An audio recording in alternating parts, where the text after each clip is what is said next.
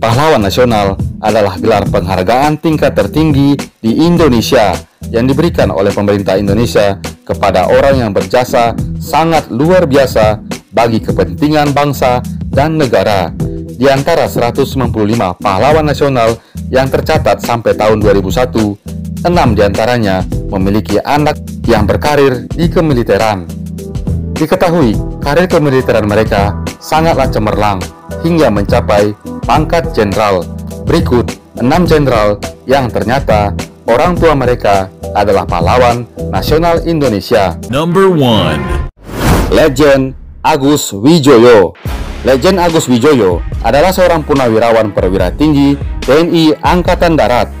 Ia merupakan lulusan Akademi Militer pada tahun 1970 dengan satuan infanteri. Jabatan penting yang pernah diembannya di kemiliteran adalah sebagai Kepala Staf Komando Daerah Militer Jaya, sebagai asisten perencanaan dan anggaran Kasat, sebagai Komando Sesko Abri di tahun 1998 sampai 1999. Setelah pensiun, Legend Agus Wijoyo menjabat sebagai Wakil Ketua MPR RI di tahun 1993 sampai 2003. Beliau juga pernah menjabat sebagai Gubernur Lemhanas di tahun 2016 sampai tahun 2022 dan sekarang menjadi Duta Besar RI untuk Filipina di tahun 2022. Legend Agus Wijoyo adalah anak dari pahlawan revolusi nasional yaitu Maijen TNI Sutoyo Siswo Miharjo. Maizen Sutoyo Siswo Miharjo aktif dalam memperjuangkan kemerdekaan Indonesia. Ia adalah salah satu dari tujuh jenderal yang gugur pada peristiwa Gerakan 30 September 1965. Maijen Sutoyo Siswo Miharjo diangkat sebagai pahlawan revolusi nasional Indonesia oleh Presiden Soekarno pada tanggal 5 Oktober 1965. Number two. Mayen, Raden Mas Susalit Joyo Diningrat. Mayen Susalit Joyo Diningrat adalah seorang punawirawan perwira tinggi TNI Angkatan Darat. Ia merupakan salah satu pejuang yang aktif dalam kemerdekaan Indonesia. Ia memulai karir militernya ketika bergabung pada tentara peta atau pembela tanah air pada masa kependudukan Jepang. Jabatan penting yang pernah diembannya dalam kemiliteran adalah sebagai Komandan Brigade 5 Divisi 2 di Cirebon 1946, sebagai Panglima Divisi 3 di Ponegoro 1946 sampai 1948, sebagai Panglima Komando Pertempuran di daerah Kedu 1948 dan posisi terakhirnya di kemiliteran adalah sebagai staf Angkatan Darat dan Kementerian Pertahanan. Diketahui, Majen Susalit Joyo Diningrat adalah anak dari seorang pahlawan nasional Indonesia yaitu Raden Ajeng Kartini. Raden Ajeng Kartini adalah seorang pahlawan nasional Indonesia yang dikenal sebagai pelopor kebangkitan perempuan Nusantara. Raden Ajeng Kartini diangkat sebagai pahlawan nasional Indonesia oleh Presiden Soekarno pada tanggal 2 Mei 1964. Number three. Legend Raden Himawan Sutanto Legend Raden Himawan Sutanto adalah seorang purnawirawan perwira tinggi TNI Angkatan Darat lulusan Akademi Militer pada tahun 1948 dengan satuan infanteri. Diketahui, Legend Himawan sudah aktif mengangkat senjata sejak usia 16 tahun bersama ayahnya.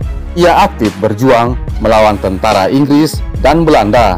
Setelah kemerdekaan Indonesia, Legend Himawan aktif dalam memberantas gerakan pemberontakan seperti DITII. Jabatan penting yang pernah diembannya adalah sebagai Pangkostrat 1974 sampai 1997, sebagai Pangdam 6 Siliwangi 1975 sampai 1978 dan terakhir sebelum pensiun, beliau menjadi Kepala Staf Umum ABRI di tahun 1984. Diketahui, legend Raden Himawan Sutanto adalah anak dari seorang pahlawan nasional Indonesia yaitu Majen Raden Muhammad Mangun Diprojo. Majen RM Mangun Diprojo adalah seorang pejuang kemerdekaan Indonesia yang ikut serta dalam pertempuran Surabaya 10 November 1945. Majen Raden Muhammad Mangun Projo diangkat sebagai pahlawan nasional Indonesia oleh Presiden Joko Widodo pada tanggal 7 November 2014. Number 4.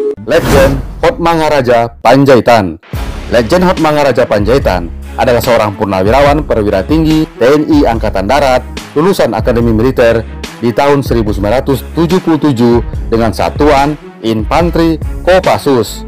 Tercatat, ia merupakan salah satu dari empat jenderal di Indonesia yang menyandang gelar Top Ranger, yaitu pasukan elit dunia. Jabatan penting yang pernah diembannya adalah sebagai Dan Pusterat di tahun 2006 sampai 2007, sebagai Aster Kasat di tahun 2007 sampai 2008, sebagai Pangdam 9 Udayana di tahun 2008 sampai 2010, dan terakhir sebelum pensiun menjadi Sesmenko Polhukam Republik Indonesia 2010 sampai 2012.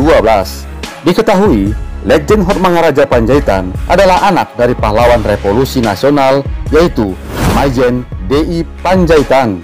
Maijen D.I. Panjaitan adalah seorang pejuang kemerdekaan saat penjajahan Belanda. Ia adalah salah satu dari tujuh jenderal yang gugur pada peristiwa Gerakan 30 September 1965. Maijen D.I. Panjaitan diangkat sebagai pahlawan revolusi nasional Indonesia oleh Presiden Soekarno pada tanggal 5 Oktober 1965. Number 5. Jenderal Gusti Pangeran Harjo Jati Kusumo Jenderal GHP Jati Kusumo adalah seorang purnawirawan perwira tinggi TNI Angkatan Darat. Pendidikan militer pertamanya adalah Korps Obdeling Reserve Operation pada masa pemerintahan Hindia Belanda di tahun 1941. Setelah Belanda menyerah kepada Jepang, beliau diangkat menjadi pemimpin Batalion 1 Tentara Peta Surakarta. Setelah kemerdekaan Indonesia, beliau bergabung ke dalam Badan Keamanan Rakyat atau BKR.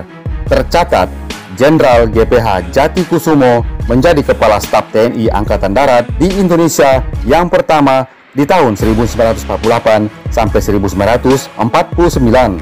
Setelah pensiun, Jenderal Jati Kusumo pernah menjadi Wakil Ketua DPA RI periode 1979 sampai 1983.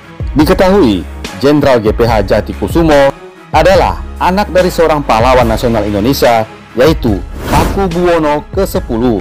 Paku Buwana ke-10 adalah susuhunan yang ke-9 dari Kesunanan Surakarta dari tahun 1893 sampai 1939.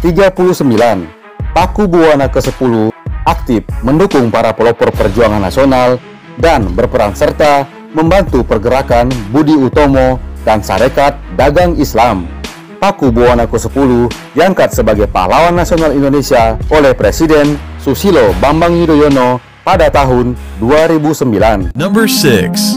Legend Andi Abdullah Baumasepe Legend Andi Abdullah Baumasepe adalah seorang purnawirawan perwira tinggi TNI Angkatan Darat. Ia adalah seorang pejuang heroik yang berasal dari Sulawesi Selatan. Ia aktif memperjuangkan kemerdekaan dari penjajahan Belanda. Tercatat, ia menjadi Panglima Tentara TRI yang pertama di PC Hasanuddin di Sulawesi Selatan. Ia juga tercatat sebagai Ketua Umum BPRI atau Badan Penunjang Republik Indonesia. Diketahui, Legend Andi Abdullah Baumasepe merupakan anak raja dari Kerajaan Bone yang juga merupakan seorang pahlawan nasional Indonesia yaitu Andi Mapanyuki yang berperan besar dalam memimpin raja-raja di Sulawesi Selatan untuk bersatu dan bergabung dengan NKRI. Andi Mapanyuki diangkat sebagai pahlawan nasional Indonesia oleh Presiden Susilo Bambang Yudhoyono pada tanggal 5 November 2004